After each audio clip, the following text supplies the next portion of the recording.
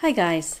Today I'll show you how to make ribs in the Instant Pot or any pressure cooker. Ribs are ready in 30 minutes with sauce caramelized on them using just a pressure cooker. No oven or broiler needed. It really could not be easier. I'm using pork ribs. You can use beef ribs if you like. This is 2.2 pounds or 1 kilo. They've been sliced into single pieces. Put them in a bowl and add coarse salt, ground black pepper, garlic powder,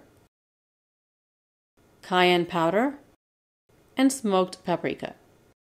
Mix well, rubbing the spices onto the meat.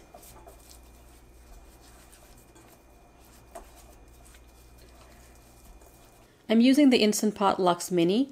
If you want to see my full review of this mini, I'll leave a link below this video. You can use any pressure cooker for this recipe. Pour water into the pot, apple cider vinegar.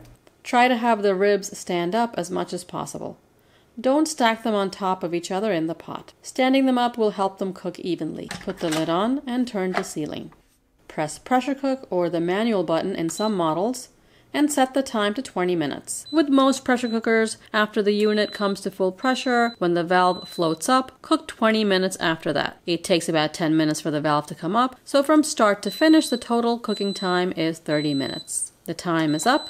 We'll do a quick release Use tongs to turn the valve to venting to release the pressure. When the float valve drops down, you can open the lid.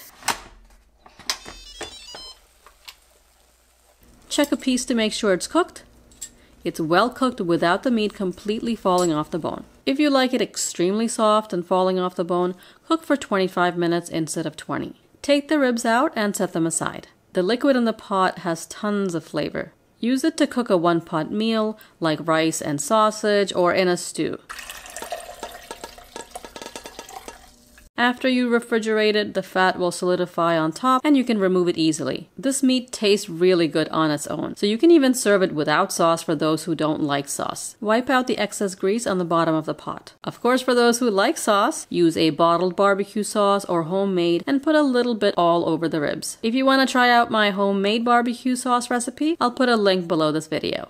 To caramelize sauce on the ribs, turn the pot on to saute, pour some sauce in the pot, Coat the ribs in the sauce and cook for 2 or 3 minutes until the sauce is bubbling and sticks to the ribs.